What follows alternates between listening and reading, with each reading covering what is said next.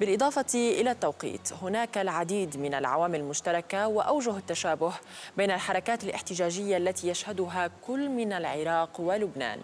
ولعل أبرزها هو الفساد وتنامي النفوذ الإيراني الذي دفع الشباب للخروج إلى الساحات للمطالبة بكف يد إيران عن بلادهم. عبد العزيز. نعم هبة. إذا في مرات عديدة خلال الفترة الماضية. وجه المحتجون في بغداد وبيروت التحيات والهتافات لبعضهم البعض.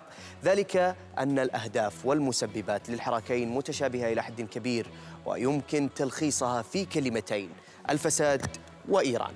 على الرغم من مئات الكيلومترات التي تفصل بين البلدين إلا أن لبنان والعراق يجمعهما الفساد المستشري في مؤسساتهما الرسمية فضلاً عن ارتفاع نسبة الدين العام وضعف البنى التحتية. فالعراق يأتي في الثامنة والستين بعد المئة في ترتيب منظمة الشفافية الدولية للدول الأكثر فساداً فيما يحل لبنان في المرتبة الثامنة والثلاثين بعد المئة في قائمة من أصل 180 دولة. أما بالنسبة للدين العام فقد تجاوز في لبنان حاجز المئة والخمسين بالمئة من إجمالي الناتج المحلي فيما تخطت هذه النسبة حاجز الخمسين بالمئة في العراق. هذا بالنسبة للفساد.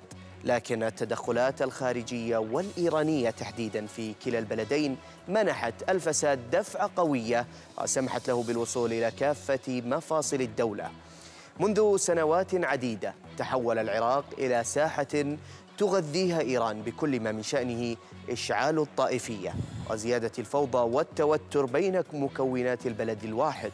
أما في لبنان فقد دعمت إيران ميليشيا حزب الله سياسيا وعسكريا. حتى باتت تتحكم بمفاصل مهمة في الدولة اللبنانية وتحتكر قرار السلم والحرب نيابة عن الجيش اللبناني. ما زاد من نفور الشارعين اللبناني والعراقي من الدور الإيراني كان تجاهل المرشد الإيراني غضب الشارع في البلدين واتهام الولايات المتحدة وإسرائيل بالوقوف وراء هذه التظاهرات.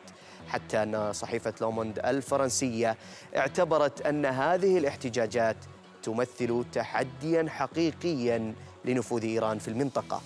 أما ردة الفعل الأولى التي قدمتها طهران لبغداد كانت من خلال إرسال المستشارين العسكريين والخبراء في قمع الاحتجاجات ما زاد من وتيرة التحركات ورفع سقف مطالبها.